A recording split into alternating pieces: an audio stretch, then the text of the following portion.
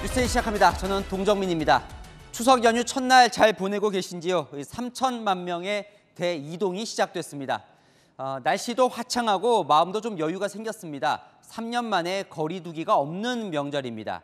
어, 지난 2년 동안 고향에는 이런 현수막들이 붙어 있었는데 이제는 조심조심 그래도 만나고 만질 수 있는 반가운 명절을 보낼 수 있게 됐습니다. 이 고향 가시는 분들도 늘었고 전국의 사람들이 북적거리는데요. 어, 오전부터 차들이 몰려서 도로 정체가 심하다는데 경부 고속도로 휴게소에 신선미 기자 나가 있습니다. 아, 신 기자 지금도 정체가 계속되고 있습니까? 네, 오늘 하루 종일 주차장을 방불케 했던 고속도로는 서서히 정체가 풀리고 있습니다.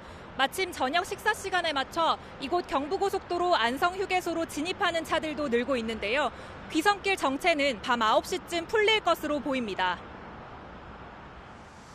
고속도로 정체가 가장 심했던 시간은 오전 10시부터 정오까지였습니다. 서울 요금소에서 부산까지 9시간 40분, 대구까지는 8시간 10분이 걸릴 것으로 예상되기도 했습니다. 3km 오는데 1시간 걸렸어요. 너무 막혀가지고 그냥 정체 풀릴 때까지 그냥 휴게소에서 밥 먹고 좀 버티다 가자라고 하고 이제 지금 가는 길이에요. 한국교통연구원은 이번 연휴 기간 3,017만 명이 대이동을 할 걸로 내다봤는데요. 도로공사는 하루 평균 자동차로 542만 대가 이동할 것으로 보고 있습니다. 코로나 이전인 지난 2019년 명절 때보다도 34만 대나 많습니다.